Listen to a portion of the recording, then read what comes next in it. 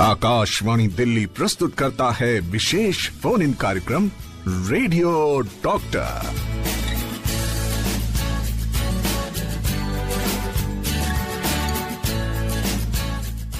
बदलता मौसम और बहुत सारी परेशानियों का आना, बड़ों के साथ साथ छोटे बच्चों का वीक हो जाना, या ये कहें कि बदलता मौसम छोटे बच्चों के लिए खास तौर पे लेकर आता है बहुत सारी परेशानियाँ। तो आज आज के रेडियो डॉक्टर में हम इसी विषय पर बात करेंगे।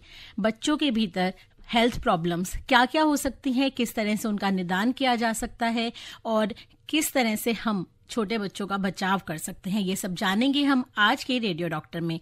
आज के हमारे एक्सपर्ट हैं डॉक्टर रोशन, जो चाइल्ड स्पेशलिस्ट सीजीएचएस से हैं।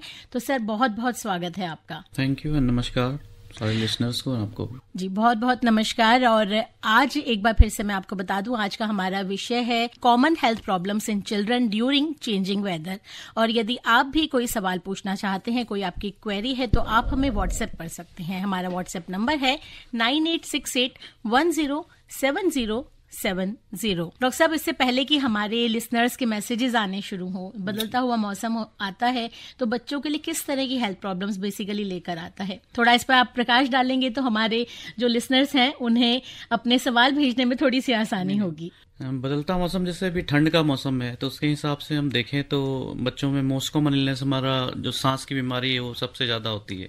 Okay. उसके साथ बच्चों में कुछ स्किन एलर्जीज फिर आप स्किन एलर्जीज होती है जैसे स्किन के प्रॉब्लम्स फिर खांसी जुकाम रनिंग नोज़ फिर loose motions diarrhoea stomach flu ऐसी चीज़ें मोस्ट कॉमन चीज़ें हैं जी तो बहुत सारी स्वास्थ्य संबंधी परेशानियाँ हो जाती हैं छोटे बच्चों में खासतौर पे सांस की बीमारी सर्दी जुकाम बुखार और साथ साथ नोज़ का बहना यानी कि नाक बहना इसके अलावा यदि और भी किसी तरह की परेशानी से आप परेशान हो रहे हैं या आपका बच्चा जूझ रहा है तो आप हमें मैसेज कर सकते हैं nine eight six eight one zero seven zero seven zero पर। जी हाँ ऐसा ही धूप छाव से भरा हुआ आ, कुछ बदलता हुआ पिछले कुछ दिनों में मौसम ने एकदम से आ, बदलाव और ज़्यादा महसूस किया है हम लोगों ने और टेम्परेचर काफ़ी कम हुआ है।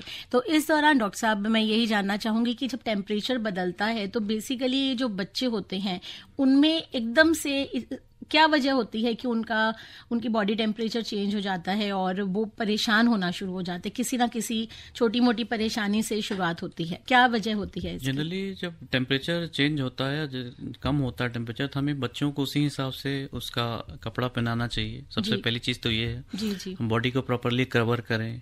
या फिर कुछ सीज़न चेंज होने से अगर किसी को सर्दी जुकाम हो रहा है या खांसी हो रही है तो हम उसको प्रॉपरली ट्रीट करें। जी। जैसे और बच्चे का खान पान हाइड्रेशन ये सब चीज़ें हमें प्रॉपरली करनी चाहिए ताकि जैसे हैंड वॉश करना चाहिए उसके बाद खाना खाना चाहिए। स्टार्ट यहीं से होता है कोई भी बीमारी आपको हैंड वॉश हमेशा प्रॉपर करना चाहिए। खाने से पहले। उसके बाद सर्दी जुकाम है तो उसको ट्रीट करो आप। फीवर है तो उसको दिखाओ।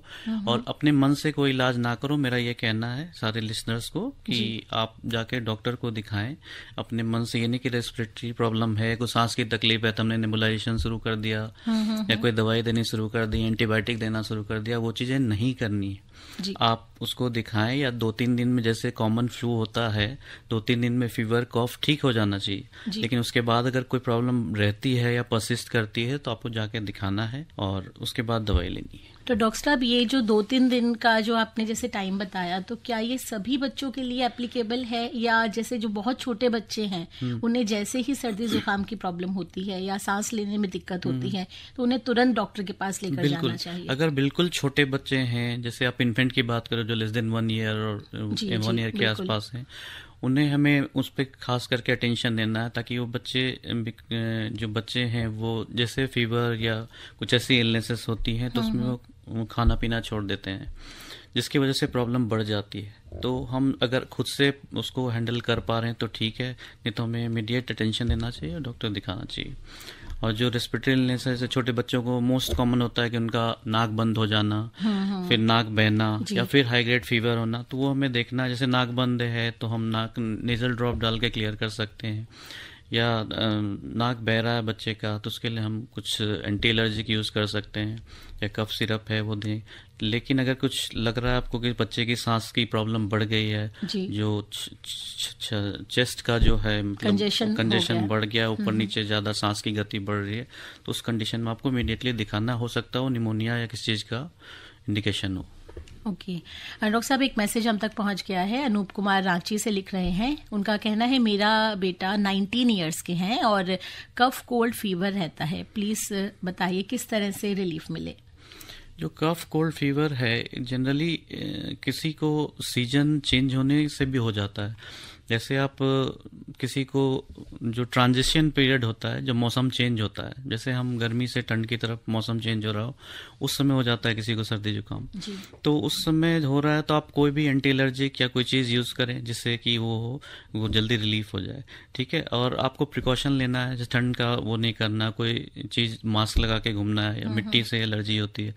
मतलब most common cause of common cold allergy है मतलब इस एज में। खासतौर पे हाँ, अगर फीवर ना हो तो बिल्कुल। और पॉल्यूशन तो दिल्ली में रहते हैं तो मोस्ट कॉमन कॉज पॉल्यूशन है भी। जी जी। जो कि खांसी है तो वो ठीक नहीं हो पा रहा लोगों का जल्दी। बिल्कुल। तो, तो सर जैसे खांसी इस बार बिल्कुल ठीक नहीं हो पा रही है लगातार मतलब एक बार यदि आपको फीवर है हम्म, या हम्म। खांसी हो गई है तो काफ़ी लंबे समय तक हो रही है तो उसका क्या रीजन है? सिर्फ़ पॉल्यूशन ही है या कोई और रीजन भी है? पॉल्यूशन तो मोस्ट कॉमन रीजन है पहले ऐसा होता नहीं था एक्चुअली जब हम मैं और आप देखते होंगे की जो मोस्ट कॉमन कोल्ड होता था वो थ्री डेज़ में ठीक हो जाता था। हाँ जी।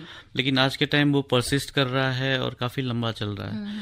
इसका रीजन कोई एक्सप्लेन नहीं, नहीं कर सकते। मोस्ट कॉमन पॉल्यूशन ही है और शायद कोविड की वजह से भी ये चीज़ें हुई है कि हम खांसी जुकाम बार बार हो रहा है लोगों को वो परसिस्ट कर रहा है ठीक नहीं हो रहा है तो सर इसका निदान क्या है निदान बस हम एंटी एलर्जिक अपना हाइड्रेशन ठीक रखें खान पान ठीक रखें हैंड हाँ, वॉश हाँ। करें जो मैंने बताया था वो आपको करना है हमेशा फीवर हो खांसी हो कुछ भी हो अटेंशन दो धीरे धीरे चला जाएगा आपने अभी इसी बात में एक बताया डिहाइड्रेशन उससे हम्म। पहले जो आपने बताया था। तब भी, भी तो सर डिहाइड्रेशन का सर्दियों में खास मतलब ऐसा क्यों मतलब है मतलब पानी का कमी नहीं होना चाहिए बॉडी में हाइड्रेशन प्रॉपर होनी चाहिए चाहे किसी वजह से हो क्योंकि जनरली लोग ये कहते हैं सर्दी में प्यास नहीं लगती और वो हाँ। पानी पीना ही नहीं चाहते। पानी मतलब ये नहीं बोल रहा हूँ आप एक्स्ट्रा पियो। हाइड्रेशन हाँ। कम नहीं होना चाहिए। कम नहीं होना चाहिए। जैसे गर्मियों में बहुत ज़्यादा कमी रह जाती है उस तरह से नहीं होना चाहिए।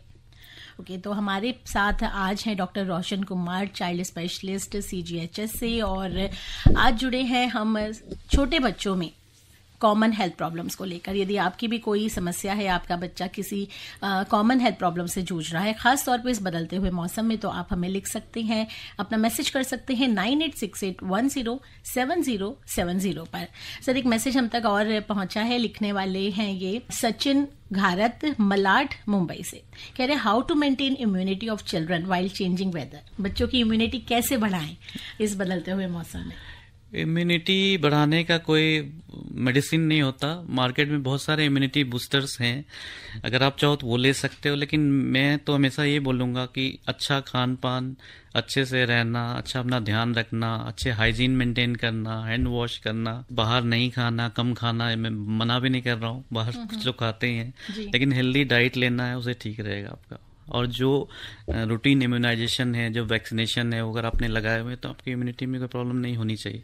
अनलेस अनटिल कोई आपको क्रॉनिक डिज़ीज़ हो जी, तो जी, उसकी बात हम नहीं कर सकते अभी। आप सुन रहे हैं विशेष फ़ोन इन कार्यक्रम रेडियो डॉक्टर आज का हमारा विषय है छोटे बच्चों में स्वास्थ्य प्रॉब्लम्स खास तौर पे बदलते हुए मौसम के समय। और यदि आप कोई भी सवाल, कोई भी क्वेरी आपकी है और आप कोई सवाल पूछना चाहते हैं तो हमारे आज के एक्सपर्ट हैं doctor Roshan Kumar child specialist CGHS से। तो आप यदि हमें मैसेज करना चाहते हैं तो आप कर सकते हैं। हमारा व्हाट्सएप नंबर है nine eight six eight one zero seven zero seven zero यानी कि नौ आठ छह आठ एक शून्य सात शून्य सात शून्य। डॉक्टर साहब सुभाष प्रजापति गुरुग्राम से पूछ रहे हैं कि किसी भी बच्चे में निमोनिया होने का क्या कारण हो सकता है?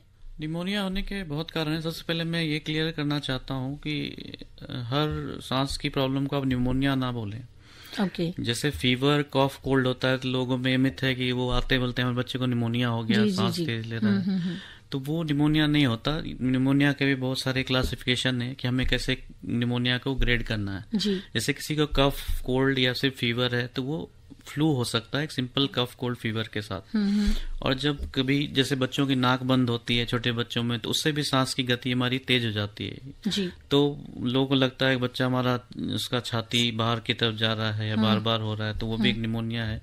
लेकिन वो नोज़ जैसे आप क्लियर करेंगे तो वो ठीक हो जाएगा। निमोनिया क्लासिफाई करने में है कि तीन टाइप की निमोनिया होती है severe very severe common pneumonia जो होता है सिंपल निमोनिया तो वो रेस्पिरेटरी रेट के हिसाब से होता है कितनी ज़्यादा रेस्पिरेटरी रेट ज़्यादा है साथ में फीवर है कफ कोल्ड है बच्चा सिक है या कुछ खा पी नहीं रहा है तो वो सिवियर निमोनिया की तरफ़ जाता है। Okay. तो वो निमोनिया के सिम्टम्स हैं। बाकी निमोनिया होने के चांसेस किसमें होते हैं ये क्वेश्चन है तो बता दूँ कि निमोनिया जनरली उस बच्चे में होता है जैसे जो प्री मेच्योर बच्चे होते हैं उनमें जल्दी होने के चांसेस होते हैं जो okay. पहले समय से पहले समय पैदा से पहले पैदा हो गए हैं दूसरा है जो बच्चे जनरली जिसको रेस्पिरेटरी इलनेस बार बार होती है हम्म, हम्म। जैसे अस्थमा है या ऐसी प्रॉब्लम है तो उनको भी निमोनिया होने के चांसेस होते हैं। Okay. और अभी रिसेंटली कोविड के बाद किसी को भी निमोनिया हो जा रहा है वो निमोनाइटिस के सिम्टम्स होते हैं। तो उसको ये मोस्ट कॉमन तो यही है। अब निमोनिया को ट्रीट हम जनरल दिखाना है डॉक्टर को उस, उसको सिम्टम्स के हिसाब से हम ट्रीट करेंगे।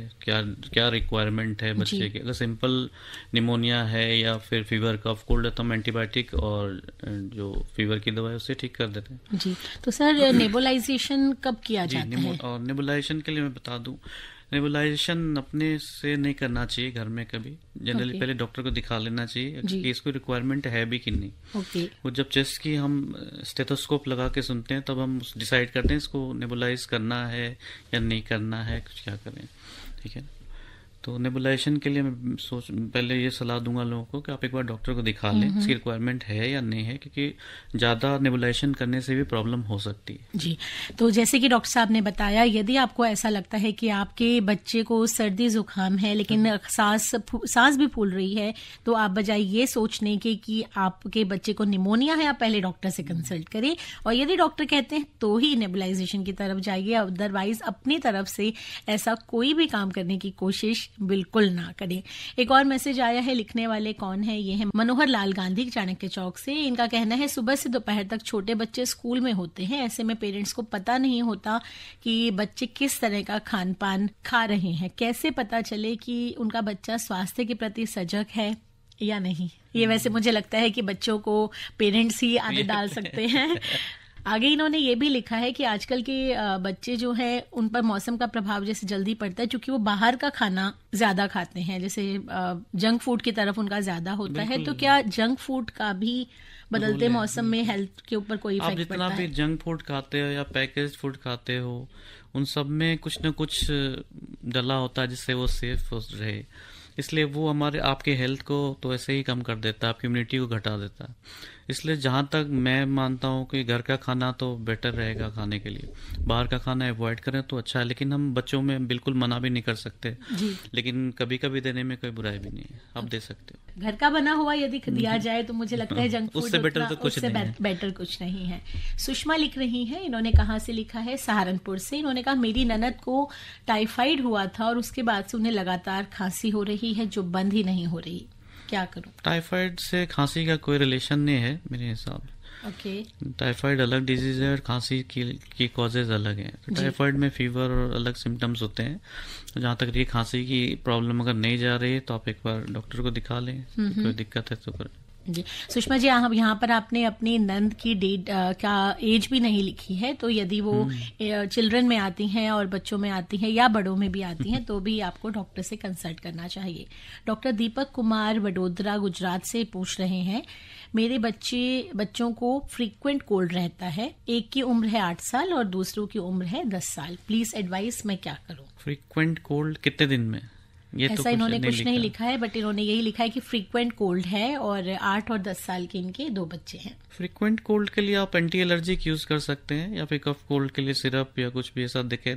और कोई कॉज है तो वो हमें रूल आउट करना पड़ेगा आपको दिखा के डॉक्टर जी डॉक्टर साहब जैसे कि अभी हमारे एक लिसनर ने पूछा भी था तो खान पान का बेसिकली जो बदलते मौसम में क्या मतलब खास बेनिफिट है बच्चों के लिए क्योंकि ये आपने भी माना कि बच्चे कुछ भी खा लेते हैं और हम हर जगह उन्हें नहीं संभाल सकते तो लेकिन यदि हम शुरू से इस तरह की आदतें बच्चों में डालें हम्म। कि वो हेल्दी डाइट तो किस तरह की डाइट उन्हें बेसिकली लेनी चाहिए? हेल्दी डाइट से सबको पता है क्या देना है। जैसे कार्बोहाइड्रेट प्रोटीन चार पार्ट हैं आपके बच्चे की डाइट में। हम्म, हम्म। तो हमें एक पार्ट जो है आपको खाने का देना है। जैसे इसमें राइस हो दाल हो चपाती हो एक में मिल्क प्रोडक्ट है हम्म, एक में फ्रूट है एक वेजिटेबल इस चार पार्ट में आपको डिवाइड करना है वो आप किसी भी फॉर्म में कर सकते हैं।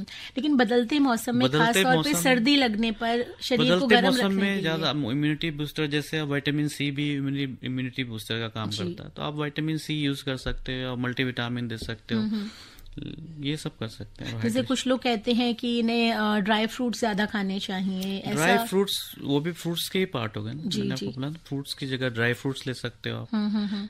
ये मतलब चार पार्ट में डिवाइड करना है खाने का मिल्क प्रोडक्ट फिर आपका ये दाल या सब्ज़ी और जो चपातीस और कार्बोहाइड्रेट पार्ट डॉक्टर साहब छोटे बच्चे कई बार बता नहीं पाते कि उन्हें क्या तकलीफ़ है। हम्म। सर्दी जुकाम बुखार ये तो हमें समझ आ जाता है। हम्म। लेकिन क्या इनके अलावा कोई तकलीफ़ है या वो किस तरह की परेशानी से जूझ रहे हैं? क्या इसका भी कोई तरीका है कि पता चल सके? सबसे इम्पोर्टेंट है छोटे बच्चों में कि छोटे बच्चे एक्टिव नहीं रहते हैं। जी। उनकी एक्टिविटी बिल्कुल ज़ीरो हो जाती है। हम्म, तो ये फ़र्स्ट साइन है बच्चे की बीमारी को जज करने का मदर के लिए मदर के लिए। जी। अगर कोई ब्रेस्ट फ़ीड पे चाइल्ड वो ब्रेस्ट फ़ीड लेना बंद कर देगा। ओके तो आप समझ लो आपका बच्चा सिक हम्म, हम्म। एक होता है सिक एक नॉन सिक दो टाइप के बच्चे होते हैं। एक सिक हुआ कि बहुत ज़्यादा बीमार हो गया तो वो फ़ीड लेना छोड़ देगा। एक नॉन सिक हुआ जिसको आपने पैरास्टामोल दिया फीवर है डाउन हो गया खेलने लग गया। हम्म, लेकिन जो सिक चाइल्ड होगा फीवर डाउन होने के बाद भी नहीं खेलेगा। तो क्या उनके व्यवहार में भी कुछ और फ़र्क आता है? फ़ील्ड सबसे इम्पोर्टेंट है उनकी एक्टिविटी बंद हो जाएगी। पहले आपका बच्चा हाथ पैर चला रहा था खेल रहा था हाँ, हाँ। लेकिन वो बंद हो गया बिल्कुल। धीरे हो गया कुछ नहीं कर रहा है। क्राई कर रहा है मोस्टली हमेशा क्राई उसको आप चुप नहीं करा पा रहे हो फ़ीड करके भी। फ़ीड नहीं ले पा रहा है। ये चीज़ें आपको जज करनी पड़ेगी बच्चे तो यदि आपका बच्चा भी कुछ इस तरह की परेशानी से जूझ रहा है और आप उसे समझ नहीं पा रहे हैं कि वो किस तरह की तकलीफ़ में है तो आप हमें मैसेज कर सकते हैं। अपना सवाल हमसे साझा कर सकते हैं nine eight six eight one zero seven zero seven zero पर। आज का हमारा विषय है बदलते मौसम में बच्चों के ऊपर, बच्चों पर स्वास्थ्य संबंधी परेशानियाँ। और आज के हमारे एक्सपर्ट हैं doctor Roshan Kumar child specialist CGHS से। आप सुन रहे हैं विशेष फ़ोन इन कार्यक्रम रेडियो डॉक्टर। और आज रेडियो डॉक्टर में हमारे साथ उपस्थित हैं doctor Roshan Kumar, child specialist हैं और आज का हमारा विषय है common health problems in children during changing weather तो यदि आपका भी कोई सवाल है, कुछ आप पूछना चाहते हैं तो आप हमें व्हाट्सएप कर सकते हैं। हमारा व्हाट्सएप नंबर है नौ आठ छ आठ एक शून्य सात शून्य सात शून्य। डॉक्टर साहब, बहुत सारे सवाल हम तक पहुँच रहे हैं, लेकिन ज़्यादातर जो हमारे लिसनर्स हैं, वो खान पान से रिलेटेड पूछना चाहते हैं। ऐसे में एक हमारे लिसनर हैं उन्होंने पूछा है कि ठंड के जो नीम का पानी होता है या गिलॉय होती है उसमें तुलसी अजवाइन मिलाकर इन्होंने बोला कि मैं अपने बच्चों को उस तरह का काढ़ा पिलाता हूँ तो क्या इससे कोई साइड इफ़ेक्ट हो सकता है या सेफ़ है ये या नहीं है मैं तो यही बोलूँगा कि हर कोई भी चीज़ ज़्यादा ना करें आप जी अगर आपके बच्चे ले लेते हैं तो ठीक है। वैसे इनका मुझे ज़्यादा कुछ आइडिया नहीं है ये आयुर्वेदिक नुस्खे हैं आप ले सकते हो। ये भी इम्यूनिटी बूस्टर का काम करते हैं। लेकिन ज़्यादा ना दें मैं ये सजेस्ट करूँ। जी अपने आप से ज़्यादा कोई भी नुस्खा ना आजमाए क्योंकि बच्चों के ऊपर वो किस तरह से इफ़ेक्ट डाल रहा है आप नहीं कह सकते। बच्चा अपने आप बहुत कुछ नहीं बता सकता। और बच्चा पी ले रहा है ये बहुत बड़ी बात ये बहुत बड़ी बात है। और सर जैसे कि आपने अभी निमोनिया के बारे में बताया था यहाँ मैं आपसे ये भी जानना चाहूँगी क्या निमोनिया से रिलेटेड कोई वैक्सीन है हमें हम्म। बच्चों को देनी चाहिए? कौन कौन सी वैक्सीन है यदि थोड़ा सा आप बताएँगे निमोनिया तो? से रिलेटेड वैक्सीन है जो government of India free of cost लगाती है नेशनल इम्यूनाइजेशन शेड्यूल के तहत। जी। तो आप किसी भी जगह किसी भी हॉस्पिटल प्राइमरी हेल्थ सेंटर कहीं भी वो लगवा सकते हो। वो हमारे इम्यूनाइजेशन शेड्यूल में है हर बच्चे को लगता है। दो वैक्सीन आती न्यू जो गवर्नमेंट का जो वैक्सीन है जो सरकार जो लगाती है न्यूमोवैक नाम से आता है न्यूमोसेल न्यूमोवैक तो वो आप लगवा सकते हैं और वो टाइम पे हर एक बच्चे को लगाना चाहिए। क्योंकि निमोनिया जो है बहुत ही खतरनाक बीमारी है बच्चों का मतलब डेथ में बहुत बड़ा रोल है। इसलिए निमोनिया से बचने के लिए हमें वैक्सीनेशन हर बच्चों का कराना चाहिए निमोनिया हम्म, हम्म। तो सर किस किस एज ग्रुप पर लगता है मतलब? शुरू में जैसे बच्चा जैसे पैदा होता है तो सिक्स टेन फोर्टीन वीक्स पे लगता है। फिर उसके बाद उसके बूस्टर डोज लगते हैं बाद में। ठीक है ना? डीपीटी या उसके साथ। जी जी। तो वो आपको टाइम पे जाके वैक्सीनेशन कार्ड बना होता है हर बच्चे का। आप जहाँ कहीं भी रजिस्टर्ड हो वहाँ जाके हर बच्चे का लगवाएँ। और जिस बड़े बड़े लोगों का तो बात ही नहीं करना है। हाँ नहीं आप बड़ों को भी बता सकते हैं क्योंकि इस वक्त बहुत सारे हमारे लिसनर्स ऐसे भी होंगे जो बच्चों के साथ साथ खुद भी इस तरह की समस्या से बड़ों में जो क्रॉनिक डिज़ीज़ है जिनको जैसे क्रॉनिक रेस्पिरेटरी प्रॉब्लम्स है अस्थमा है या उनको निमोनिया हो चुका है या फिर किसी को डायबिटिक किडनी डिज़ीज़ है उनके लिए भी वो निमोनिया के वैक्सीन लगाने के लिए बोलते हैं। सर जो ये बच्चों में प्रॉब्लम है बदलते मौसम की तो क्या इसका कोई हेरिडिट्री का भी फ़र्क पड़ता है कि यदि उनके अनुवांशिक की पेरेंट्स में है या ग्रैंड पेरेंट्स में है तो क्या उससे भी कुछ रिलेशन है बच्चों को जल्दी परेशानी होने का? ऐसा नहीं है जनरली जी। बहुत कम कम कॉजेज हैं ऐसे ओके कि बच्चों में मदर के थ्रू या फादर थ्रू निमोनिया आ जाए। नहीं निमोनिया के अलावा क्या कोई और ऐसा आ, कोई परेशानी या कोई बीमारी है जो बदलते हुए मौसम में खास तौर पे पेरेंट्स को ध्यान रखना चाहिए? ऐसी अनुवांशिक बीमारी है जैसे सिस्टिक फाइब्रोसिस वगैरह है तो वो जी। वो आ सकता है। वो आ तो सकता उसमें निमोनिया के बहुत सारी चीज़ों की प्रॉब्लम होती है ओके। तो आज हमारे साथ जुड़े हैं डॉक्टर रोशन कुमार। यदि आपकी भी कोई क्वेरी है तो आप हमें लिख सकते हैं। कहाँ पर? जी हाँ nine eight six eight one zero seven zero seven zero पर। आप सुन रहे हैं विशेष फ़ोन इन कार्यक्रम रेडियो डॉक्टर एक बार फिर से आप सभी का स्वागत। प्रोग्राम है रेडियो डॉक्टर और आज का हमारा विषय है बच्चों में स्वास्थ्य संबंधी परेशानियाँ बदलते हुए मौसम में। डॉक्टर साहब एक मैसेज आया है लिखने वाले हैं ओजसवीर नई दिल्ली से लिख रहे हैं। इनकी उम्र है चौदह साल और ये पूछना चाह रहे हैं कि मुझे आ, जनरली कफ रहता है और यूजुअली ड्राई रहता है, सूखा कफ रहता है और मेरे डॉक्टर ने ये बोला है कि मुझे टॉन्सिल्स हैं और इसी की वजह से कफ है। उन्होंने ये भी बताया है कि जो टॉन्सिल्स होते हैं वो नॉर्मली छोटे होते हैं चौदह साल की उम्र में, लेकिन मेरे केस में ऐसा नहीं है। तो प्लीज़ सजेस्ट करें क्या नेबुलाइजेशन से मेरे कफ में कुछ हेल्प मिल सकती है? जो टॉन्सिल्स की बात कर रहे हैं जनरली जो टॉन्सिलाइटिस होता है इसमें टॉन्सिल्स के साइज़ बढ़ जाते हैं या फिर इन्फ्लेमेशन होता है उसका तो उसमें हाई ग्रेड फीवर होता है सबसे फ़र्स्ट सिम्टम सिर्फ़ ड्राई कॉफ नहीं होता। ठीक है? तो most common cause of dry cough इनके केस में मुझे एलर्जी की प्रॉब्लम लग रही है जो कि इनको बार बार होता है या फिर साइनोसाइटिस या कुछ हो सकता है तो वो एलर्जी प्रॉब्लम के लिए वो ट्रीट करें टॉन्सिलाइटिस में हाई ग्रेड फीवर सबसे पहला सिम्टम्स होगा। तो अगर वो टॉन्सिलाइटिस है किसी को उन्होंने दिखाया हुआ है एग्जामिन करके बता रहे हैं तो आप उसके लिए एंटीबायोटिक लो टेन डेज़ के लिए वो ठीक हो जाएगा। तो मुझे लगता है ओजस आपको ये अपनी सवाल का जवाब बिल्कुल मिल गया होगा। और डॉक्टर साहब जैसे कि आपने बताया साइनोसाइटिस की प्रॉब्लम हो जाती है। उसी तरह से कुछ जो साइनोसाइटिस कई बार बढ़ जाता है तो क्या वही अस्थमा का रूप लेता है या अस्थमा का साइनोसाइटिस से कोई रिलेशन नहीं है। साइनोसाइटिस जो आपके साइनस होते हैं जो कि हेड में या चिक्स के अंदर जो है साइनस स्पेसेस होते हैं उससे वेंटिलेशन होता है प्रॉपर जो आप सांस लेते हो किसी चीज़ के तो वो अगर क्लियर नहीं होता तो फिर आपको मोस्टली हेड होता है या सर्दी जुकाम बार बार होना गला खराब होना ये चीज़ें साइनोसाइटिस में मोस्ट कॉमन सिम्टम्स हैं। और जिसमें हेड होता है जैसे सुबह जो हेड है वो धीरे धीरे शाम जैसे शाम होगा तो हेड कम होता जाएगा। और मॉर्निंग के टाइम आपको ज़्यादा हेड होगा। बच्चों में इस तरह की परेशानी बच्चे जो जो जो बड़े बच्चे हैं वो तो आपको बता सकते हैं। छोटे बच्चों में जनरली बता नहीं सकते हैं जनरली छोटे बच्चों में कम होती है प्रॉब्लम ओके हाँ। अच्छा जैसे अस्थमा की अभी हमने बात की तो अस्थमा भी बदलते हुए मौसम में थोड़ा सा सीवियर हो जाता है जिन्हें इस तरह की समस्या है। तो उन्हें क्या करना चाहिए? किस तरह से वो अपनी आ, मतलब अपने आप को बचा सकते हैं? अस्थमा का जो कॉज ही होता है वो एलर्जी होता है। जी। जो हमारा स्पेसेस है लंग्स में जो ब्रोंकल स्पेसेस हैं वो उसमें जो स्पाज्म होता है सिकुड़ जाते हैं इसकी वजह से सांस में प्रॉब्लम होती है।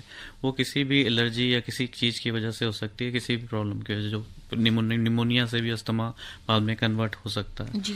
तो हमें अस्थमा में सबसे पहले यही देखना है अगर छोटे बच्चों को है तो हम शुरू में डॉक्टर को दिखाएँ और प्रॉपर ट्रीटमेंट कराएँ। और ये कभी ना सोचें कि जो बच्चे हैं उन्हें हम नेबुलाइजेशन या इनहेलर देंगे स्टीरॉयड देंगे तो बच्चों का इमिडिएटली ग्रोथ कम हो जाएगा।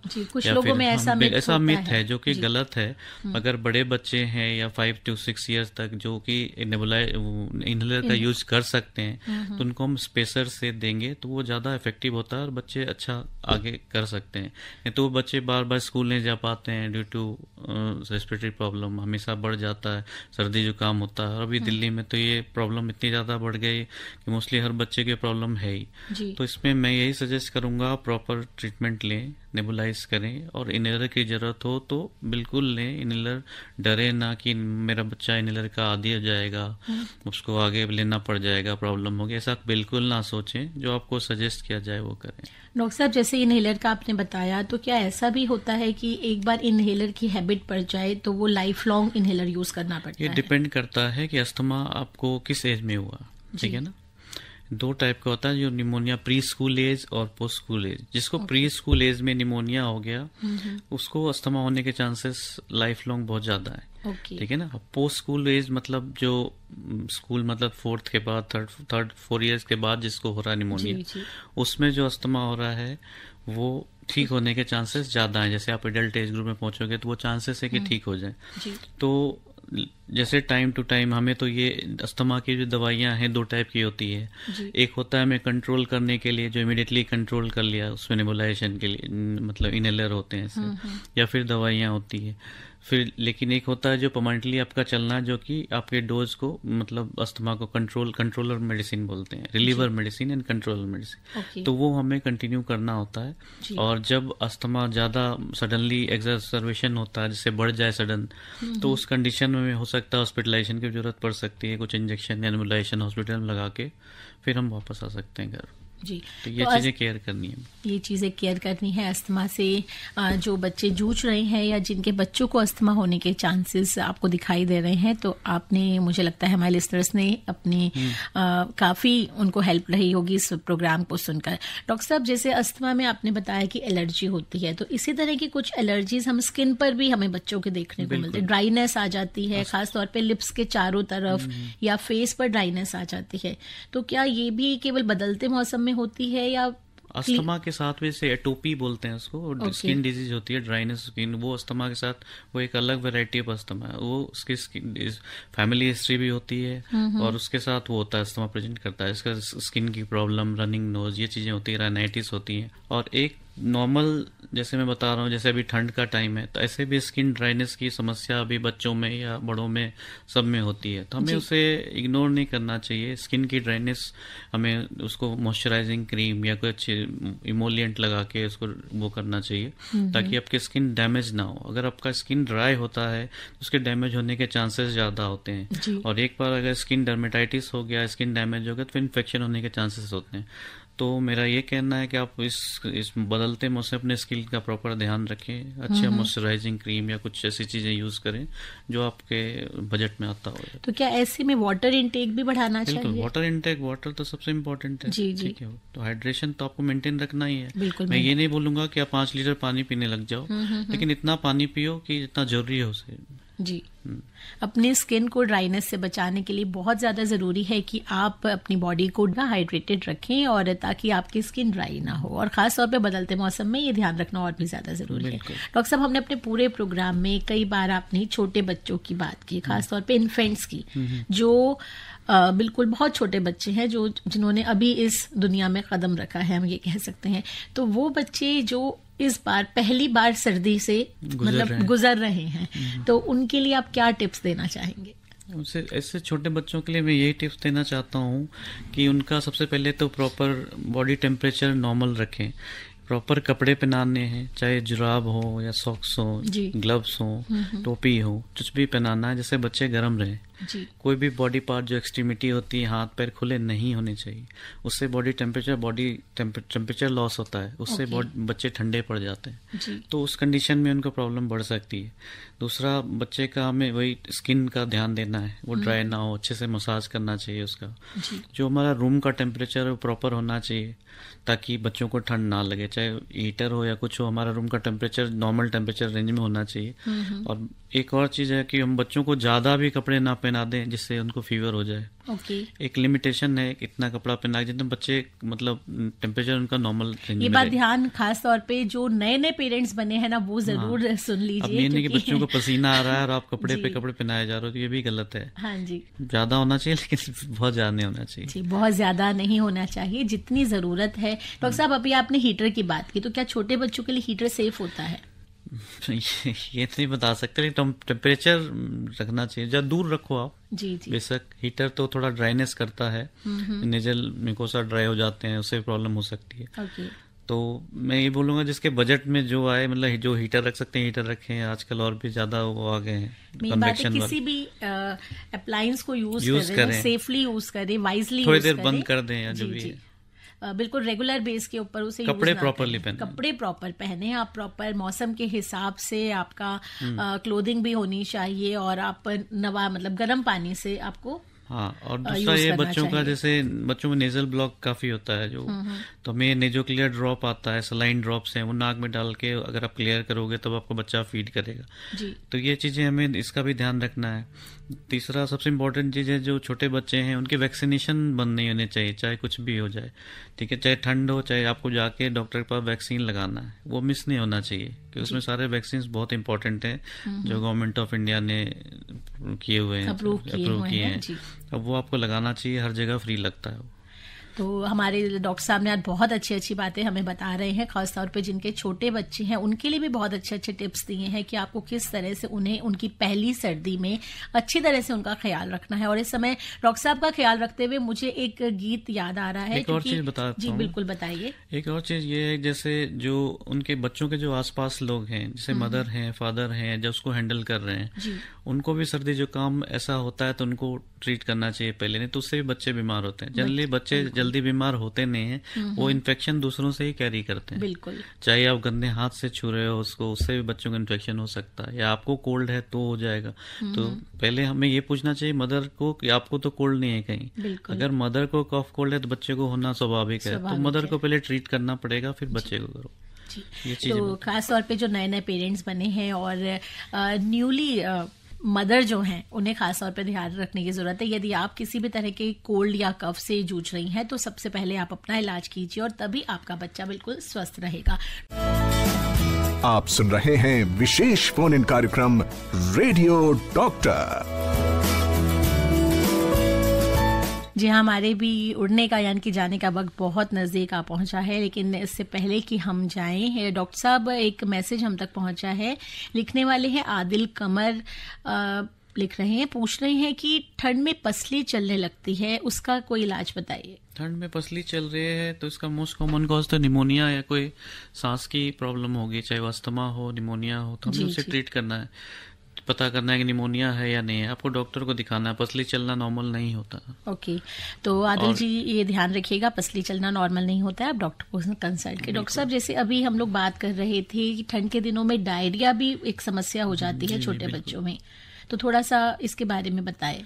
एक्चुअली जो कोई भी वायरल इलनेस होती है या उसमें डायरिया या वॉमिटिंग या स्टमक एक ये चीज़ें होना कॉमन है। कॉमन है तो उसमें हमें डायरिया में यही देखना है कि बच्चों के एज ग्रुप क्या है ठीक है ना। अगर पाँच साल के बच्चों तक को होता है तो हमें जनरली एंटीबायोटिक का यूज़ नहीं करना होता है। जी। ठीक है? तो वहाँ हमें सिर्फ़ कुछ सप्लीमेंट्स लेने होते हैं या फिर जिंक को देना होता है या और कुछ एक प्रोबायोटिक वगैरह यूज़ करते हैं वो देना पाँच साल से ऊपर के बच्चों में एंटीबायोटिक यूज़ कर सकते हैं और ये देखना छोटे बच्चों में जो एंटीबायोटिक यूज़ करना है उसमें डिसेंट्री की प्रॉब्लम हो जैसे कि ब्लड आ रहा हो स्टूल में तो वहाँ हम एंटीबायोटिक देते हैं। मैं ये मैसेज देना चाहता हूँ कि पाँच साल तक के बच्चों को बिना डॉक्टर के सजेशन के आप एंटीबायोटिक लूज मोशन में ना दें क्योंकि उससे डायरिया और बढ़ सकता है। जी। मेरा मेन गोल ये था बताना लिसनर्स को। डॉक्टर साहब वक्त हमारे पास थोड़ा बचा है और इस पूरे प्रोग्राम का एक मैं वाइंड अप चाहूँगी कि जो लिसनर्स हमारे साथ बाद में जुड़े हम्म। और उनके साथ भी उनके घर में कोई बच्चा इस तरह की प्रॉब्लम से जूझ रहा है जो कॉमन हेल्थ प्रॉब्लम्स होती हैं बदलते हुए मौसम में तो आप उनके लिए क्या कहना चाहेंगे लिसनर्स को ये बताना चाहता हूँ यहाँ यहाँ से कि जो सांस की बीमारी की प्रॉब्लम है उसमें जैसे कॉमन कोल्ड या कॉफ कोल्ड है उसमें आप छोटी मोटी दवाइयाँ लेके ठीक कर लें। लेकिन अगर आपको लगता है कि सांस की प्रॉब्लम बढ़ रही है या पसलियाँ चल रही है या सांस की गति बढ़ गई है उसमें इमीडिएटली आपको दिखाना है। और छोटे बच्चों में जो इन्फेंट्स हैं उसमें सबसे इम्पोर्टेंट ये है कि अगर आप बच्चा एक्टिव नहीं है और उसने खाना पीना छोड़ दिया है तो उस कंडीशन में भी आपको डॉक्टर के पास इमिडिएटली जाना है। वैक्सीनेशन प्रॉपर टाइम पे करना है आपको। हर बच्चे का जो जो एज ग्रुप है उससे भी आपको बीमारी से लड़ने में काफ़ी वो मदद मिलती है। तीसरा ये है आपको हाइड्रेशन प्रॉपर रखना है हेल्दी डाइट रखनी है और जो स्कूल गोइंग बच्चे हैं या जो भी हैं उनको हैंड वॉश करके खाना खिलाना है। कोई भी मार्केट से इम्यूनिटी बूस्टर लेने की ज़रूरत नहीं है। आप घर में अच्छे से खाना पीना खिलाएँ ये आपके लिए बेहतर रहेगा। आज डॉक्टर साहब ने इतनी अच्छी अच्छी बातें बताई। हमारे साथ जुड़े थे doctor Roshan Kumar child specialist और आज बच्चों में बदलते हुए मौसम में किस तरह से हम उनके स्वास्थ्य का ध्यान रखते हैं। इसके ऊपर बताया। सर आपका बहुत बहुत धन्यवाद। थैंक यू अभी आप आकाशवाणी दिल्ली से विशेष फ़ोन इन कार्यक्रम रेडियो डॉक्टर सुन रहे थे। कार्यक्रम की प्रस्तुतकर्ता थी शालिनी मित्तल।